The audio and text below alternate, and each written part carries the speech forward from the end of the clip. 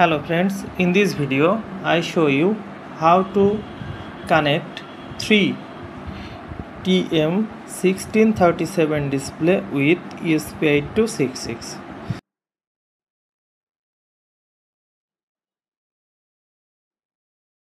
hello friends in this video i show you how to connect 3 tm1637 display with esp8266 first include the library. First include the library.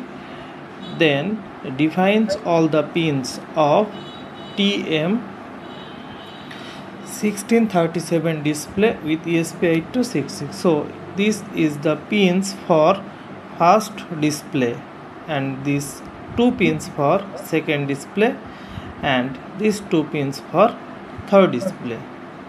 Then create three instance of the three display.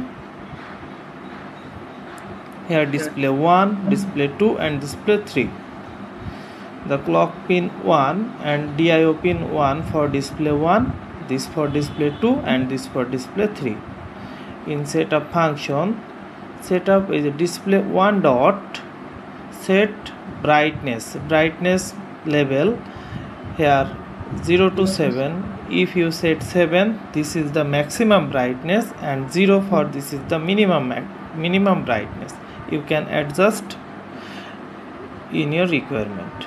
This is the show digit show number decimal. Here only show the decimal number in display 1 similarly for display 2 and for display 3 then after compiling the code and nothing to do. Here loop function is empty. The code is compiled. So successfully compiled. Then upload the code. Then upload the code. After uploading the code you can display on your ESP8266 sorry on your displays the code. After uploading the code you can see in your three displays. First display display 111 second display display 222 and third display display 333 so let's now see on the display what to do